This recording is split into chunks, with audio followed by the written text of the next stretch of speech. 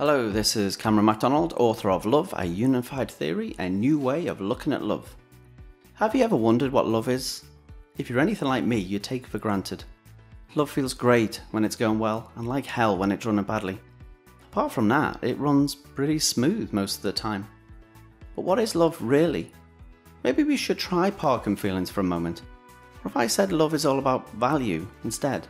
That's to say, when you're attached to somebody, and you're committed to them, you value them. Would such an idea forget feelings? No, absolutely not. Let's take a typical relationship. It starts at a party. Across the room, you see that special person you've been looking for all your life. I know, it sounds a bit corny, but run with me for a moment. Before you know it, you're dating and falling in love. Emotionally, you're attaching to them. You're also building a sense of commitment.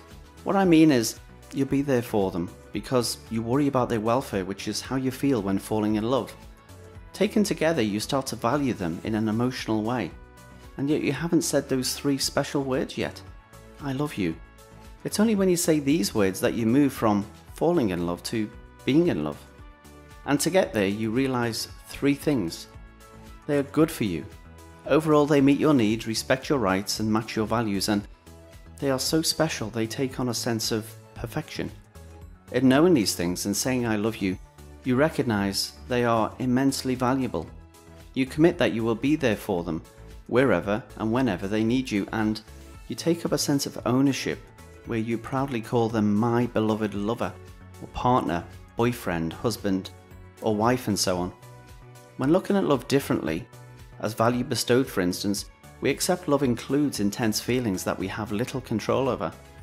These feelings begin when falling in love, but love is something that continues on, beyond when we say, I love you. It recognises the immense value we hold for our beloved, the commitment we make to them, and the sense of zealous ownership we take up of them. Moreover, if love is value, based on commitment and attachment, it spans all our loving relationships. Feelings don't do this.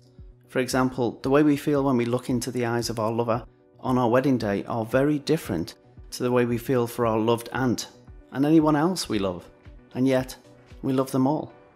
This is a new way of looking at love.